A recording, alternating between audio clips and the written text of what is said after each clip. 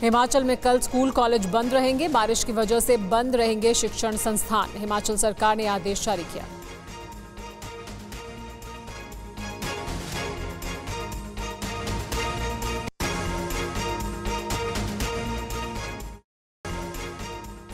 हिमाचल में कल school, college बंद रहेंगे। बारिश की वजह से बंद रहेंगे शिक्षण संस्थान। हिमाचल सरकार ने आदेश जारी किया।